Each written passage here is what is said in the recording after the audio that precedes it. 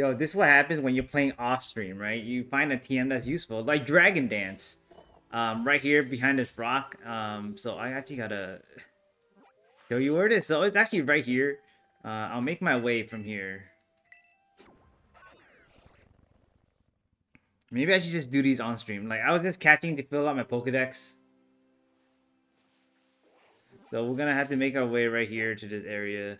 Uh, around here, I guess. It's probably the correct distance. I pretty much jumped here. I got some dive balls. I'm running around. I'm looking for a con wire or whatever, and there's that rock over there. I'm like, oh, what's this TM? Boom, Dragon Dance. Oh, that's useful. I should make a video. There you go. Later days.